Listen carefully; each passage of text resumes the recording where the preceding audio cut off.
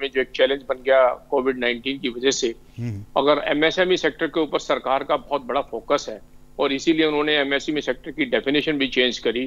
उसको जैसे अनिल जी बता रहे थे उसको फाइनेंस करने की कोशिश भी की। तो एमएसएमई सेक्टर में जो जीएसटी काउंसिल के सामने दो अहम मुद्दे हैं। एक तो है कंप्लाइंस बर्डन एक है टैक्स रेट तो कल जो फैसले किए गए वो एक कंप्लाइंस बर्डन के बारे में किया गया मैंने कहा ना तीन साल हो गए बहुत सारे एमएसएमई सेक्टर की रिटर्न फ़ाइल नहीं हो पाई लेट हो गई। अब उसकी पेनल्टी दो सौ रुपए पर डे के हिसाब से बहुत हैवी पेनल्टीज बनती हैं। तो उसको राहत देने के लिए कंप्लायंस बर्डन के बारे में तो कल जीएसटी काउंसिल ने फैसले लिए।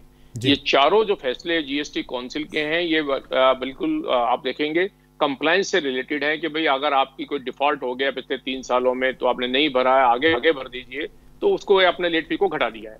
अब हम्म। आपका सवाल है कि एमएसएमई सेक्टर की प्रोडक्शन को कंजम्पशन को कैसे बढ़ाया जाए? बिल्कुल। ये मान के चलिए कि साहब एमएसएमई सेक्टर के पास कोविड 19 के जब लॉकडाउन होने के बाद सबसे बड़ा चैलेंज ये है कि उनके पास फंड फ्लो नहीं है उनके पास पैसे नहीं है। जो लार्ज सेक्टर होते हैं उनके पास पास सेविंग होती है। मैं उसका एक एग्जांपल दूसरे ढंग से देता हूँ। देखिए विश्व भर में कंट्री दो तरह के माने जाते हैं डेवलप्ड नेशन और डेवलपिंग नेशन जी। जो लेकिन डेवलप्ड नेशन है जैसे अमेरिका है कनाडा है ऑस्ट्रेलिया है न्यूजीलैंड है उनके पास पास रिसोर्सेज इतने पैसे हैं कि वो लोगों को राहत बांटने के लिए उस रिसोर्सेज से पैसे बांट देते हैं। हम्म, हम्म। लेकिन डेवलपिंग नेशन लाइक इंडिया उनके पास तो जो ईयरली इनकम होती है उसी से सरकार का खर्चा चलता है उसी से सैलरी बढ़ती है उसी से सारी सरकार की ग्रोथ होती है। इसी तरह से एमएसएमई सेक्टर एक ऐसा सेक्टर है जिसके पास पास ऐसे फंड नहीं है। उसके पास करंट ईयर के इश्यूज़ हैं करंट ही वर्किंग है। अब सवाल आया कि मार्च अप्रैल मई में जो लॉकडाउन हो गया जिसकी वजह से उनकी सेल नहीं हुई तो उनकी वेजेस का बिल है रेंट के बिल है ये बिल है ये इश्यू है। ये इस और साथ के साथ डिमांड में बहुत भारी कमी आ गई। तो अब हमें डिमांड को बूस्ट करने के लिए कोई ना कोई स्टिमुलस की वर्किंग है ताकि कंज्यूमर उस चीज़ को खरीदे।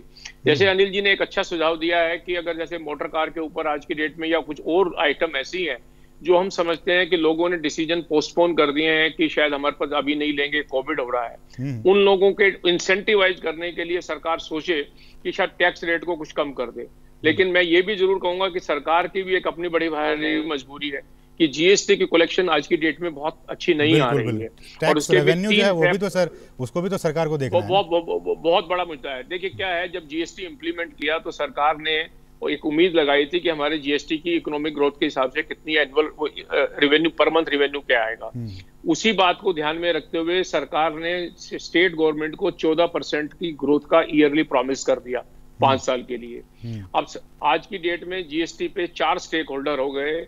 एक तो सेंट्रल गवर्नमेंट हो गई एक स्टेट गवर्नमेंट हो गई एक जो डीलर हो गया जो मैन्युफैक्चरर है या ट्रेडर है और एक कंज्यूमर हो गया हम्म। अब इन चारों के अपने अपने अलग अलग अपने अपने इंटरेस्ट हैं कंज्यूमर चाहता है मेरा टैक्स रेट कम कर दिया जाए। बिल्कुल। सप्लायर चाहता है मुझे इनपुट टैक्स क्रेडिट मिल जाए मेरे की कंप्लायंस का बर्डन कम कर दिया जाए मेरी इन्वर्ट ड्यूटी के बारे में मेरी सोचा जाए।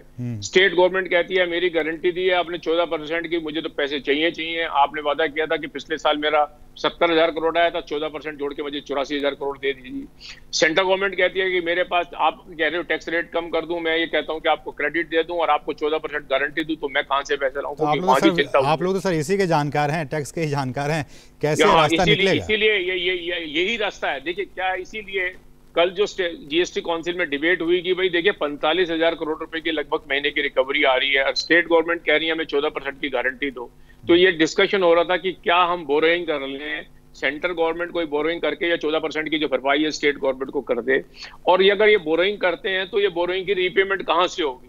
ये हाँ, रीपेमेंट तब होगी जब सेंट्रल गवर्नमेंट आगे से पैसा रिलाइज करेगी? हम्म। इसका मतलब जो सेस लगाया हुआ हमने अट्ठाईस परसेंट से बियॉन्ड वो 2022 के बाद भी सेस चले और सरकार आज की डेट में बोरोइंग कर ले और उस पैसे के जो बोरोइंग करके उस बोरोइंग प्लस इंटरेस्ट को 2022 के बाद जो सेस आएगा वो उसको दे दे। अब उसमें चैलेंज ये है कि स्टेट गवर्नमेंट फिर कहेंगे साहब 2022 के बाद तो फिर हमारा सेस में हिस्सा नहीं रहेगा।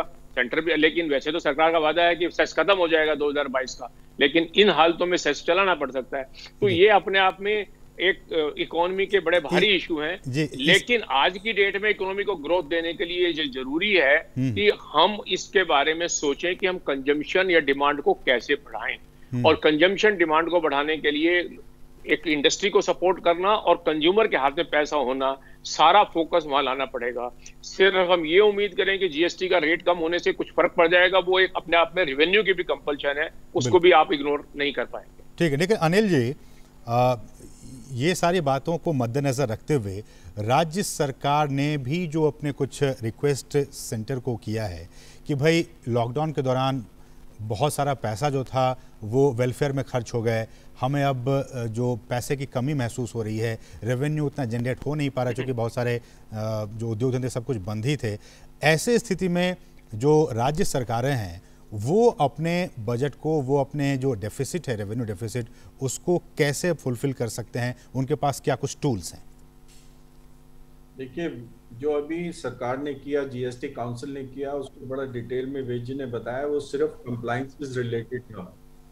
जो मैंने एक सजेशन दिया था, जैसे कि कोई tweaking of the GST rates करना पड़ेगा। सरकार के पास पैसे कहाँ से आते हैं? दो तीन बड़े मुद्दे हैं जहाँ से पैसे आते हैं। एक है जीएसटी दूसरा है आपका स्टैम्प ड्यूटीज़ प्रॉपर्टी टैक्सेस अगर आप, मैं ऑटोमोबाइल के बारे में जैसे आपको मैंने सुझाव दिया ऐसे ही अब एक दूसरा है एक सेक्टर है रियल एस्टेट का। स्टैम्प ड्यूटी और प्रॉपर्टी टैक्स से सरकार के पास एक बहुत बड़ी रकम आती है। अगर रियल एस्टेट सेक्टर को देखा जाए तो उसमें बहुत ज़्यादा एम्प्लॉयमेंट है एम्प्लॉयमेंट अपॉर्चुनिटीज़ हैं। बड़े सारे लोग अब पलायन कर गए अपने अपने गाँव में और छोटे शहरों में। तो अभी रियल एस्टेट को भी थोड़ा बूस्टअप करने की सरकार कोशिश कर रही है। हम्म। अब उसी का अगर आप देखेंगे स्टैंप ड्यूटी जो है पूरे देश में वो अलग अलग है। कोई 18 परसेंट लेता है कोई 12 परसेंट लेता है दिल्ली में 8 परसेंट है लेडीज़ के लिए 5 परसेंट है। एक हम लोगों ने एक सजेशन दिया था कि जीएसटी के जैसे रेट बना दिए गए हैं एक देश एक टैक्स अगर उसको स्टैंप ड्यूटी का भी परचेज और सेल के ऊपर जो स्टैंप ड्यूटी लगती है उसको रैशनलाइज करके एक रेट कर दिया जाए कि पाँच परसेंट रेट होगा और फीमेल बायर के लिए वो फोर परसेंट होगा हम्म। तो उससे जो स्टैंप ड्यूटी का कलेक्शन है वो बहुत ज़्यादा बढ़ जाएगा बहुत सारे जो प्रॉपर्टीज़ हैं वो अभी भी पावर ऑफ़ अटॉर्नी पे हैं वो रजिस्टर नहीं हुई है क्योंकि उसके अंदर ये एक अच्छा सुझाव है बहुत ज़्यादा लगती है हम्म, हम्म।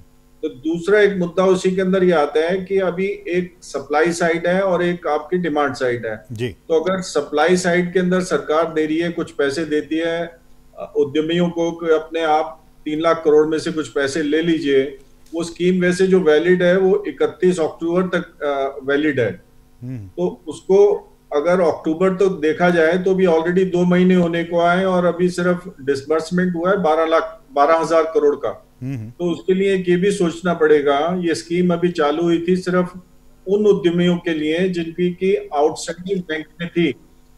एक पर्टिकुलर एक पर्टिकुलर डेट पे 28 फरवरी की डेट पे जो आउटस्टैंडिंग अमाउंट था उसके ऊपर 20 परसेंट उन्होंने देने की घोषणा की। जी। मगर अगर मेरा उद्योग ठीक चल रहा था मेरा व्यापार अच्छा चल रहा था मैं बैंक से पैसे नहीं ले रहा था और आज मेरा व्यापार क्योंकि ठप हो गया है तो मुझे बैंक से पैसे लेने मैं उस स्कीम में आ, मैं उस स्कीम में आता ही नहीं हूँ। हम्म। तो सरकार को हम लोगों ने सुझाव दिया है कि आप जो लोगों को जिनके पास कोई बैंक लिमिट्स ले ही नहीं रखी थी क्योंकि उनका उद्योग अच्छा चलता था आपके आप इस स्कीम में उनको भी पैसे दी